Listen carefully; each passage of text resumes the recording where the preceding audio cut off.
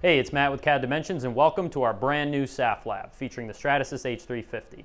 We just had this machine installed last week and we've been busy running tests and calibrations, getting it ready to print your parts. The H350 is the first powder bed fusion printer from Stratasys powered by selective absorption fusion, or SAF. The way it works is there are two sleds that move in the same direction within the machine.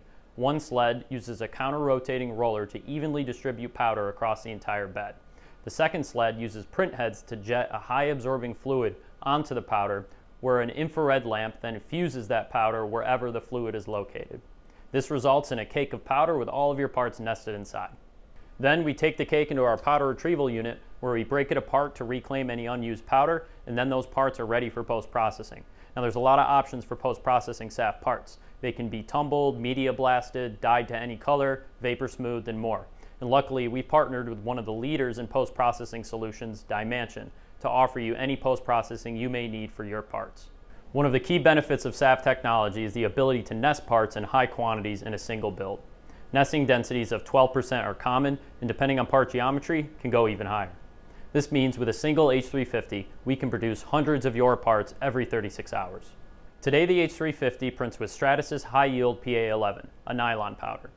PA11 is eco-friendly and 100% bio-based from sustainable castor oil.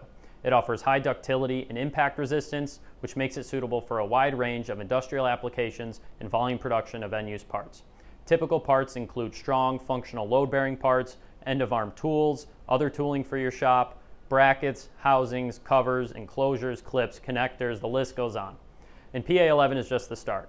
Stratasys is continuously developing new materials for this machine, such as PA12 and polypropylene. With the new addition of the H350 and DyeMansion systems, we are fully equipped to offer high quality, accurate, end-use components at production level volumes. Powder bed fusion, and more specifically SAF technology, has quickly grown to be one of the premier additive manufacturing processes chosen by engineers and industry experts alike. If you're struggling to source plastic components for some of your projects, look no further than the team at CADimensions. Whether it's 10 parts or 10,000, the H350 is up for the task. Thanks for watching, and I look forward to printing your parts.